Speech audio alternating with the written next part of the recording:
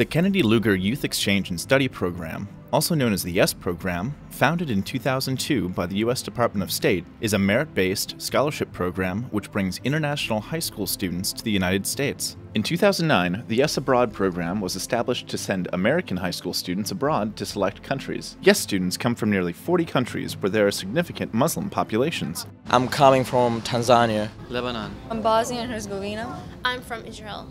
I am from Albania. I'm from Kuwait. I'm from Pakistan. I'm from Bangladesh. My home country is Mali. While they are in the US, YES students learn about American values, such as ethnic and religious diversity, and community service. They develop their leadership skills and return home to become change makers in their home countries. I feel like the YES program is not only that one year that you go to the US, but it actually starts when you come back. The YES program changed me in a great way. I became a totally different person after that year. The exchange year just adds more to your life learning about new culture meeting new people having a whole new like family friends that will last forever you empower the students um, to go home and do projects in their communities that directly engage their peers on some of the most important issues facing young people in those communities. In September 2013, 100 YES alumni were invited to Istanbul, Turkey to celebrate their achievements as changemakers in their home countries as part of the 10th anniversary of the YES program.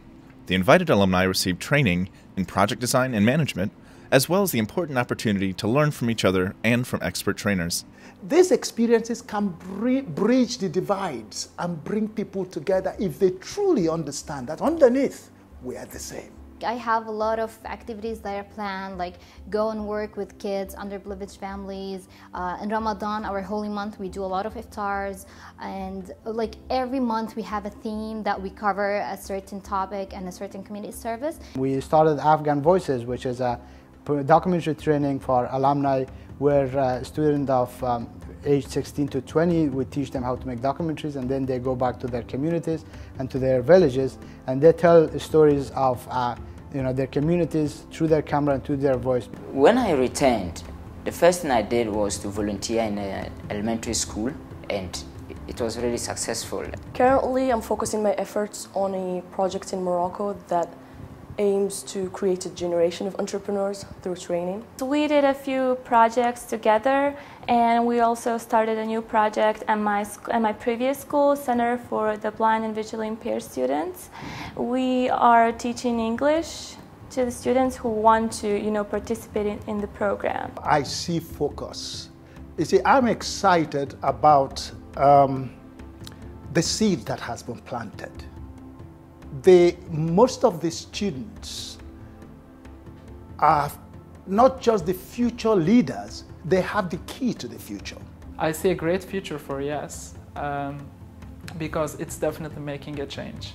If I had to describe what YES gave me in just a few words, I would say um, flexibility, um, gratitude, peace, love, multiculturalism, diversity. Confidence, self-respect. The YES program is the best thing that you can go through or benefit from. If it wasn't for the YES program, I wouldn't have been the person I am now. They feel that they're already part of a family by being in YES.